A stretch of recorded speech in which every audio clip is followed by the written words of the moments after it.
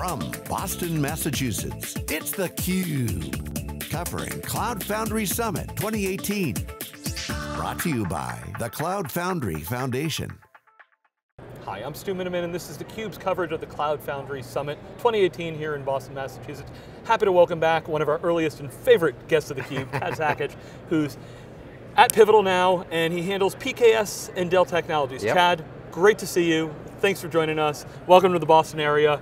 You come through this area a lot, but Yeah. uh, uh, it's, it's great to see you. It's good to see you too. This is, by the way, my, it's my first CF Summit. Um, so it's it's interesting. You know, you and I have talked together at, at, at Dell Technologies World, Dell EMC World, and Dell and you know EMC World for years. VMworld and- and VMworld. This is a it's a different scene. All right, so Chad, this is my third time doing this show. I was at the first one back in 2014. Yeah. Um, I, last year we did the Cube there, um, and every year uh, it's like, oh wait, there's this cool new technology, you know, containers. Uh, maybe how's Pivotal going to Yeah. deal with that? Oh, we're, we're going to do that. Th- This year, you know, wait, Kubernetes and all, you know, cloud natives everywhere. Mm-hmm. Yep. So maybe give, give us your point of view as to, to how, how this fits in. Yeah. So um, I feel like I'm I'm a kid in a candy store. Um, my job inside uh, Pivotal is to drive PKS, so uh, the Pivotal Container Service that's built on top of Kubernetes. And there's a lot of Kubernetes action occurring here. Uh, if I had to net it out, I'd say a couple things. Number one, um, we've moved past the early hype cycle and actually went through several hype cycles that blew up. So Docker is going to take over the world. Not correct. What turned out to be correct is Docker would become the container standard, right? Um, yeah, yeah, it's Moby now, right? Right. Um, then we went into the battles of different cluster container managers. So it's Swarm, it's Mesos Marathon, it's Kubernetes, and there were lots of others. And then you know you get through that early hype period, and things settle down to the point where they're actually productive. And everyone now kind of agrees that Kubernetes is the standard, uh, you know, container cluster manager. Um, for broad sets of workloads. Great. Now the debate is Cloud Foundry, the structured PaaS world, right? The structured platform, opinionated, versus the little more Wild West and open ecosystem of Kubernetes and then early stage Kubernetes uh, projects like uh, Istio and, and others, right? Um, I think this has this has two chapters now in front of us. Number one, chapter number one, and this is my focus, I think, for the next few years, is how do we make Kubernetes simple enough, easy enough, uh, and frankly, enterprise ready. Uh, not that it's not ready today, but a lot of Kubernetes projects that our customers are all over the map, difficult to sustain. We want to bring a lot of the lessons learned over the years of Cloud Foundry to Kubernetes. Um, and uh, I'm happy to say that uh, just a couple days ago we released PKS 1.0.2 uh, and 1.1, which we haven't announced the date, but we've always said that we're going to be in constant compatibility with GKE, you know, and, and the core Kubernetes. So since GKE shortly will have Kubernetes 1.10 support, you can expect a 1.1 uh, of PKS. Um, so mission number one is make Kubernetes a great platform, and I am determined and stubborn, and will make PKS the best enterprise platform for customers that are putting workloads on Kubernetes. That said, Kubernetes isn't standing still, and neither, is the ecosystem, and you can see that there's a lot of discussion over what's the intersection between Cloud Foundry and Kubernetes. I think that over time it's inevitable that these things come together more. Um, but again, I, I think that's going to occur over years, not in a heartbeat. And even, you know, I, have been at the Kubernetes show uh, now for a bit, and I've been at this show a few Yep. times. It's not a monolithic stack. Yep. It's, you know, we're building distributed, lots of different pieces. You go to the Cloud Foundry, uh, I'm sorry, the, the, the show that's KubeCon. Yep. You know, there's so many different projects there. I mean, Istio was all the buzz, Yep. talk about the, you know, service mesh and all those pieces. There's all these little pieces there. At this show, we're talking about you know, Zipcar came and talked about, oh, they love everything in this ecosystem. They don't use some of the core Yep. components, but they use all these other pieces. So it's not like, as, as you and I talk many times, Chad, you, if, you know, people go read, you know, Chad writes a little bit about some of these things to give you all the, you know, the details there, but stuff's pretty complicated. Yep. Um, there's some in the Kubernetes community that's like it's never going to get simple. Yep. Um, you know, you know. Re- remember when we thought cloud computing was simple? And if you've been to any Amazon show and you go through, you know, it is more complicated to configure a compute instance in Amazon than it is to buy a Dell server these days because there's more options Yep, uh, yep. out there. So um, look, customers need options. Customers, many of them will want things to be packaged and serviced and buy it as a service, but some love to put those pieces together and it's, it's a spectrum and I loved at this show, Google and Microsoft up on stage talking, you know, hey, open communities collaborating together, Yep. maybe not merging everything, Yep. but working together, understanding where things fit and it's not one or the other, it's many customers will choose both. There's, you and I are both nerds at heart. I hope you don't take offense. I, I, I, I've, I've already been doing Star Wars quotes this week, so, uh, so I, no wear it with pride, Yeah. right? Um, I'm always fascinated by the technology itself, but one thing that's been really cool about uh, my experience alongside now inside Pivotal, and you can see it here at the CF Summit, is that the, the Pivotal obsession is about uh, the customer and the outcome. Um, we build we build a platform that is an essential part of that, but teaching the world how to build better software um, is uh, a noble mission. And the thing that's the most exciting for me is actually when the customers talk. So if you went to any of the the customer discussions, did you see any of them? Did you see the the T-Mobile one? I, I, I saw T-Mobile up on the keynote. Actually, did an interview with T-Mobile. Had a had an interview with U.S. Air Force. That was the Air Force one is amazing, Awesome. right? So, uh, you know, it's fascinating from a technological standpoint to say how do you use these tools, um, but it's the story of what you do with it that actually matters so much more. Yeah. And and uh, you know, again, I, I'll leave I'll leave the I won't leave the customer name out of it. So, in talking with the T-Mobile crew, they love the Pivotal application service. So they are using it. It's an essential part of how T-Mobile works. They talked about it on stage. That's why I don't mind talking about it. Um, and if you ask them, it's not an or. They also have massive projects, massive application workloads that don't fit in PaaS, but are Docker images. They're currently doing some strange stuff with Swarm and blah, blah, and and they're like, man, if you guys can basically deliver a great platform that we can consume instead of trying to construct and maintain, we trust you. You iterate with us, you work with us, we'll be able to focus more on the outcome. The thing that I'm actually going to be the most curious to hear feedback from customers over the next couple of years is how do they navigate what workloads are best put into Kubernetes?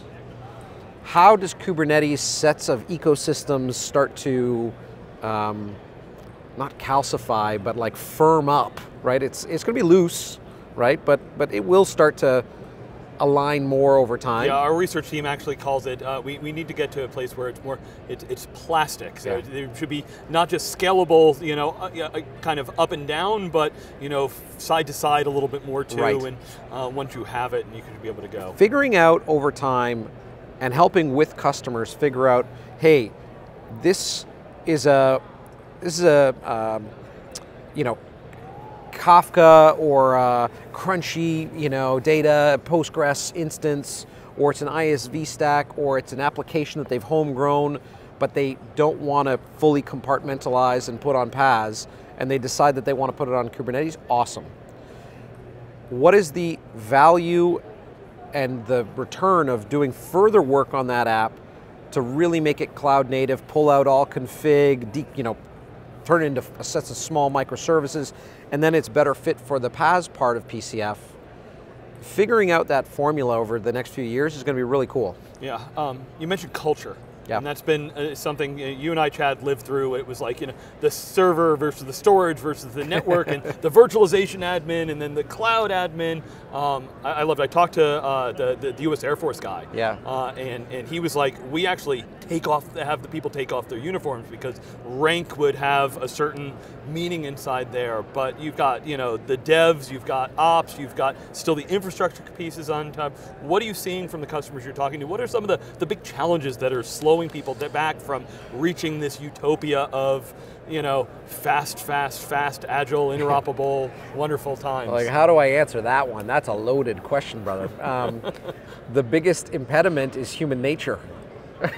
you know, it's these damn humans. Yeah. If we could just get all the humans out. But everybody's mine. We'll mine. Go, we'll go mine. to we'll go to low code, no code, eliminate all the humans. It, I, I did dreamy. one of those interviews today too. yeah, absolutely. We, you don't need all programmers. The, it's the, uh, you know, ever the business people can do it. The uh, the human tendency for control and the need for control I think it's probably pretty deep seated in our, we're living in a world where we know intellectually that we don't have control over everything, but we hate that because we want to create control in our lives.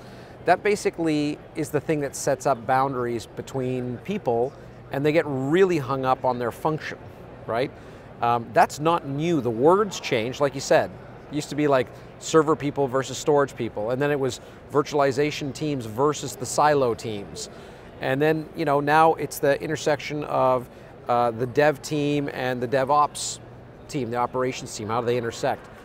The places where they're the most successful is that they don't get hung up on that and the people blend the roles. Now, the trick is how do you do that in a big company? I, I, I wrote a blog, I'm not trying to advertise virtualgeek.io, but um, I wrote a blog on this, which was a synthesis of all of the customer dialogues I've been having over the last few years. And the pattern that I've seen that is most successful is actually to recognize that there are stacks, and the stacks, I don't mean like this particular technology choice, but the way that the whole stack, driven by the business and the application, and then the uh, abstraction it sits on, and then you have to build your actual operations team underneath that, that creates a whole operational model, which in itself is a stack, right? And just so it doesn't sound like I'm describing something that's nonsensical, you know, a stack can be in big enterprises, there's a mainframe based app that's running on a mainframe that's being supported by a mainframe operations team. And then right beside it, there's another stack which is all x86 workloads that are static. So they don't need an IaaS, they just need to run on a kernel mode VM abstraction. And then underneath that, you have the team that supports it. And then you've got the workloads that can be containerized and don't need a full-blown PaaS, and then you have another one which is a full-blown application service you know, model. Each one of those stacks ends up with different people, processes, and tools because they're mapped to the cultural operational model of that stack. And the thing that I'm trying to guide customers when I'm talking to them is don't reject that. That's actually reality, right? Yes, you should move as much as you can to the highest order abstraction you can. That's goodness, right? And it pays dividends all the way down the stack. But don't go and say that this workload by definition has to go there, or because you operate this way in this stack and this group operates this way, that by definition you're stupid and they're smart. The other rule is that. Ch Chad, the answer to everything is serverless. by the way, I should have said that's another abstraction, even to the right of the application service model, right? Um, so the thing that I found is that, you know, a, a key kind of pattern of good is that between the stacks, people and process are not allowed to transverse them, right? Because the process is, is linked to how you operate. Um, the only thing that goes between them, because in the end, for any customer, they have stuff that touches all of those, is to become religious about one thing, which is that APIs and data and how those transit those different stacks, that you have to be very clear on. Do you, do you know what I mean? I wrote a, I drew, on the blog, I drew a picture, but it was terrible. It was a terrible drawing. I've done whiteboards with you, Chad, I understand. Great, so sounds like you've got your hands full. Yeah. Um, you know, lots of us read the S1, so Pivotal's, you know, marching towards an IPO I guess you know you, you have only been there over a short time. You've known Pivotal yeah. since the beginning and mm-hmm. all the pieces since you know Greenplum was part of EMC, Cloud Foundry was part part of uh, VMware.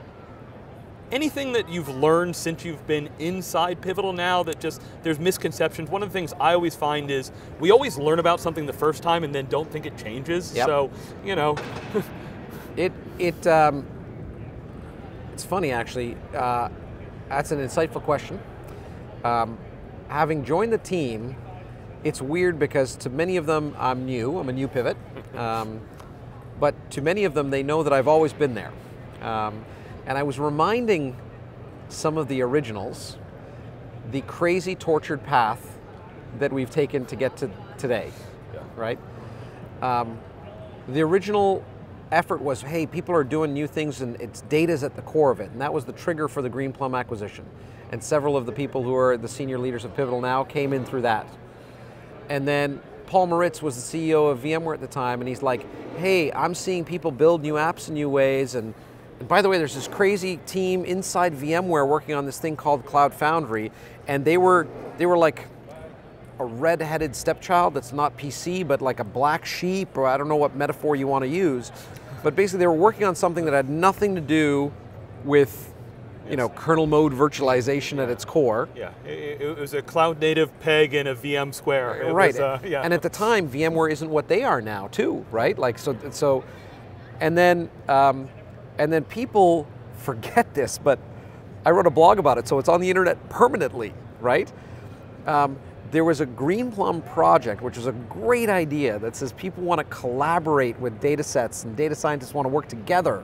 And it's really hard. Let's build a thing, which is like a social media portal for Greenplum, which was called Chorus. And the Chorus project was completely sideways. And they were like, we don't know how we're going to get this thing on track on time. They asked around the valley, and people said, hey, you should go talk to these guys at Pivotal Labs up in, in San Francisco. What they do is they help people when they're stuck, right? And they went, and I remember when Bill Cook and Scott Yara came back to Hopkinton and said, this was awesome. They've changed the way we think about how we build software.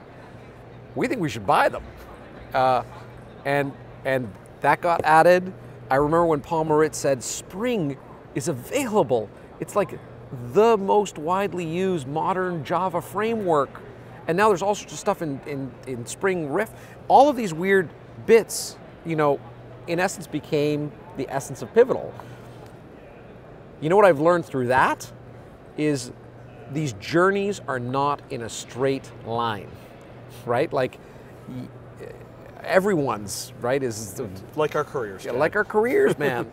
um, that's the first part. The second thing is, is that, and this is going to be a challenge for Pivotal. Uh, honest, you know, if we're very transparent as always, is Pivotal's brand is in, is now so linked with Pivotal Cloud Foundry, and that's a good thing. Like those customers raving about the business outcomes that they're getting, but inside Pivotal, the strategic change, the strategic pivot, ha ha ha, to do a full embrace of Kubernetes um, versus the traditional uh, opinionated versus uh, plastic uh, debates. Um, I wouldn't say that we have 100% of the company fully embracing it yet because companies are themselves organic, right? But across the vast majority of the company, it is something understood that it's an imperative for us. Like if we want to help the customers and the world build better software, we've got to do it for stuff that fits into PaaS and stuff that doesn't. Um, and so I've learned over the last uh, you know few weeks about how many people share that passion that I have, and I think uh, we can make something awesome with PKS. All right. Well, with that, Chad, we'll have to leave it there for now. Looking forward to seeing you at more events. Congrats on the new role. Uh, I'm, I'm sure if uh, people haven't already, Chad does have a new site for Yeah. his blog, virtualgeek.io, instead of uh, the, the, the previous ad, one. yeah. Uh, yeah. So, Chad, always a pleasure. Thanks so much. Got the Cube here at Cloud Foundry Summit. I'm Stu Miniman. Thanks for watching the Cube.